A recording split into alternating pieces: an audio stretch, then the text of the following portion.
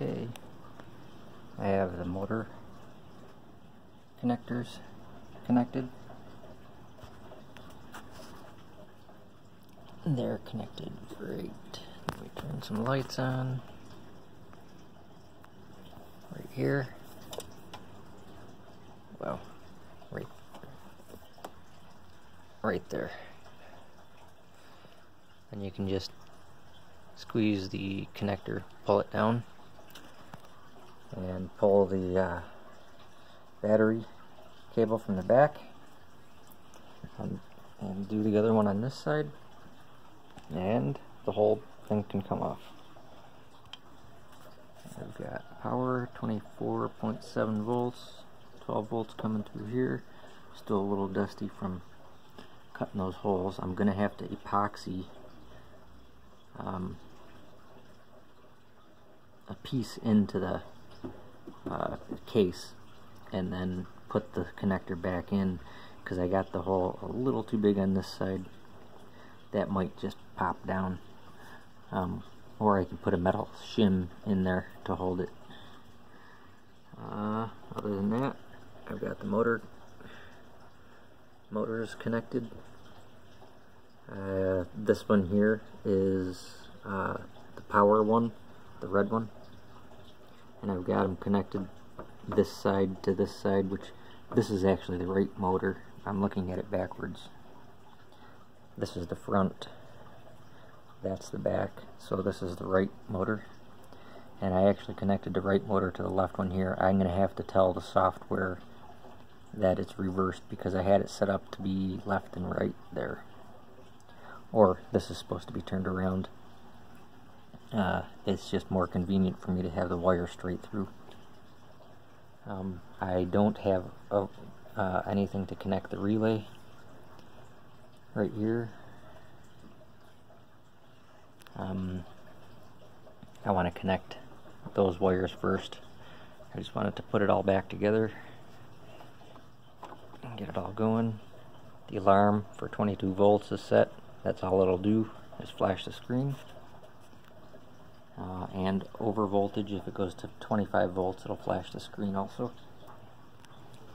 But that was one heck of a project getting all that done.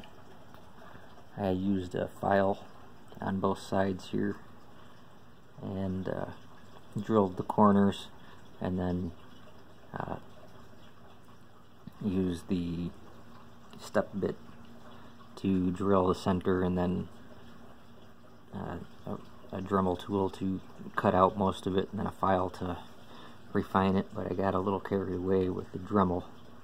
And I got this side a little too uh, too big on this one. So it's it's just resting in there really loose. I'll have to fix that. Other than that I think she's good to go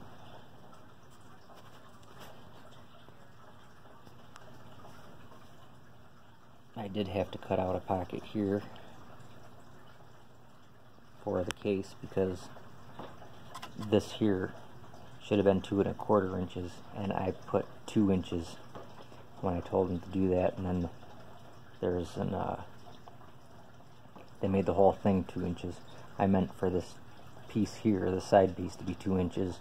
This would be an eighth that would be an eighth so that would be two and a quarter total and it would have just cleared this metal can and these are the only things that I would have had cut out. But that's okay. Um, for now. That measurement was my mistake. This one here was still theirs. This none of these are 45 degree angles. One's 50 one's 40 another one's another one.